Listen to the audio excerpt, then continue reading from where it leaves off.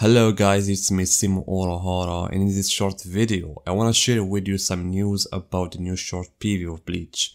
In Aniplex Online Fest, it has been revealed a short PV of Bleach anime, and in it we saw other new footage that we didn't see in the previous trailer. And all this footage are from the first episode, like this one. And also it said that we're gonna see two more short PV, like this one. We'll have the second on the 1st of October and the third on 8th of October. However, we don't know how many episodes we'll have in the first cour or on what platform Bleach will be streaming on. We already have confirmation that Bleach will be simulcated, but until now we don't have any official source about the platform which gonna stream Bleach.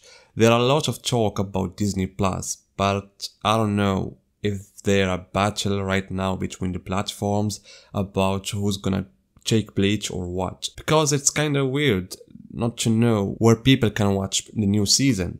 The anime is around the corner, so we need to know where Bleach gonna be. Anyway, I think we'll have to wait a little bit more to see what's gonna happen in the next few days. So guys, tell me your opinion and see you in my next video.